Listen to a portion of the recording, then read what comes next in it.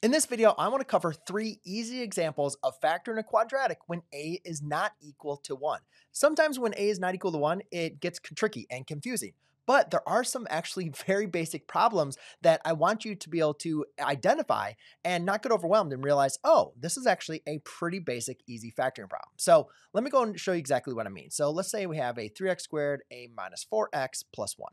All right, now I'm not going to get into any crazy factoring techniques or like breaking down the process. I want to show you how to factor or think about factoring by doing it in your head. And that's the way I'm going to kind of talk through these problems.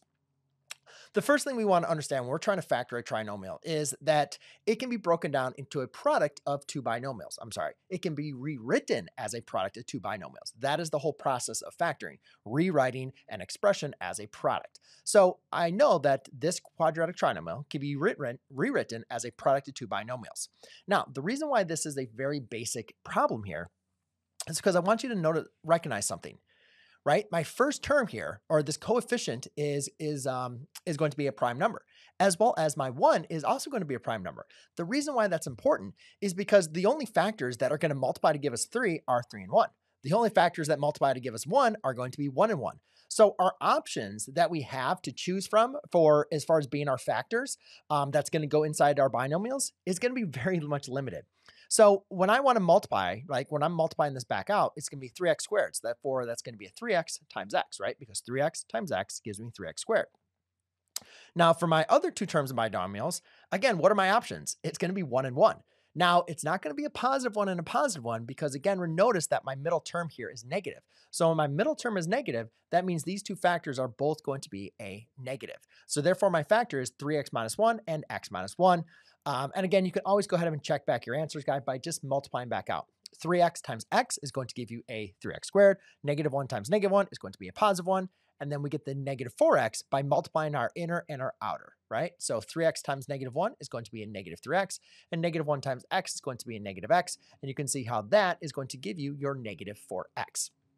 All right, let's go and take a look at another example. So let's say I have a 2x squared plus a 5x plus 3. All right, now in this example, um, again, we're kind of working with the same thing here. Notice that my 2 is prime and my 3 is prime, right? So we have this as a product of two binomials.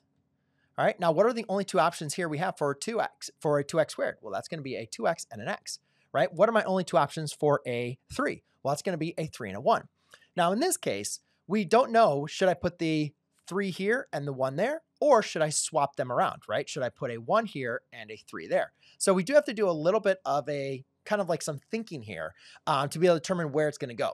Now, I do know since my middle term, since my last term is, um, since my last term is positive, I know both factors have to be both positive, both negative, right? That was the same thing that was up here that I didn't say, so I apologize for that. But notice my middle term here is positive. So therefore, I'm going to be dealing with both positive factors.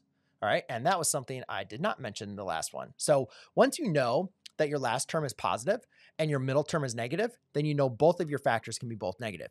Once you know your last term is positive and your middle term is positive, then both of these factors are going to be positive. All right, now we know that 2x times x gives me a 2x squared, right?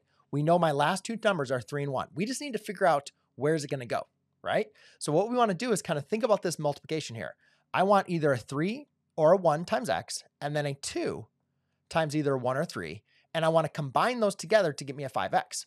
Well, hopefully, just with doing a little bit of math here, you can see here, I want my 3 to be here and my 1 to be here. Why? 3 times x is a 3x, 2x times 1 is a 2x. 3x plus 2x is going to be a 5x. What if you switched them around? What if you did it like this? What if you said, well, what about if I wanted it like this, x plus 3? Now look what happens here. This is going to give you a x, right? And 2x times 3x is going to give you a 6x that's going to give you a 7x. We don't want a 7x, right? We want a 5x.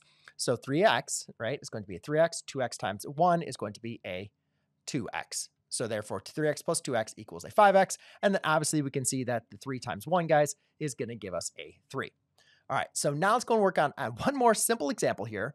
But now we're going to kind of switch it up. So what if I have a 7t squared plus a 2t minus 5?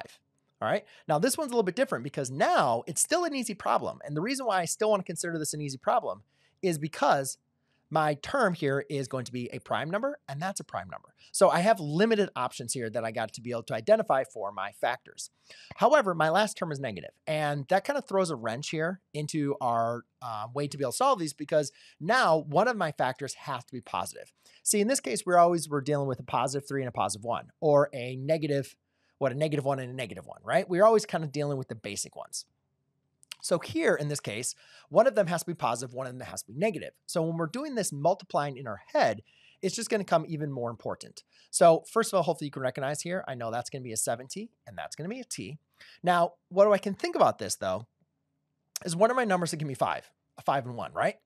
Do I really want to multiply a five times seven to get to two? No, five times seven is 35, right? So I'm not going to want to put my five here. I'm going to want to put my five here, right? And then my one, I'm going to put here. Now let's go ahead and determine. So hopefully that was easy. Now it's going to determine which would be positive, which should be negative. And that's all going to come into my middle term. Since my middle term is positive, I want the larger of my two products to be positive, right? So let's look at our two products we have. We have a 5 times t, and we have a 7t times 1. Now, which of those two products is larger? Well, it's going to be a 7t times 1, right? 7t times 7t is larger than 5t. So we want this product to be positive. Therefore, I want the 7t to be multiplied by positive 1, and I want the positive t to be multiplied by a negative 5. And there you go, ladies and gentlemen. That is three different examples that are fairly basic to be able to factor. But if you want to go ahead and work on some more difficult examples, then check out the next video that I have for you here.